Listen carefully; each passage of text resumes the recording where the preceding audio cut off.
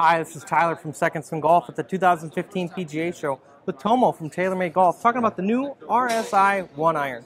Tomo, tell us a little bit about it. Sure, Tyler. So we got the uh, RSi 1, like you said. This is our new flagship iron.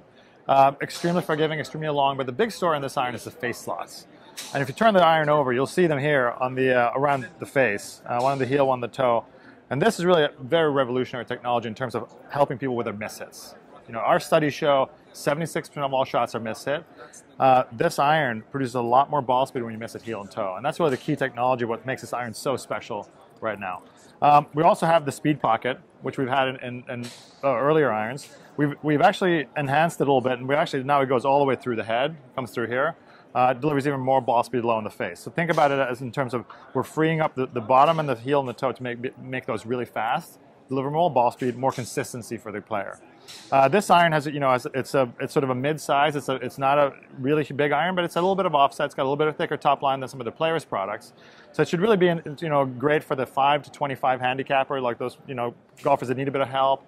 Don't mind looking at a little bit of offset to help the ball get in the air. It's going to be really long, really playable iron. Awesome. The RSi 1 iron is one of the best selling irons so far in 2015. Stop into Second Swing Golf to get fit for yours today.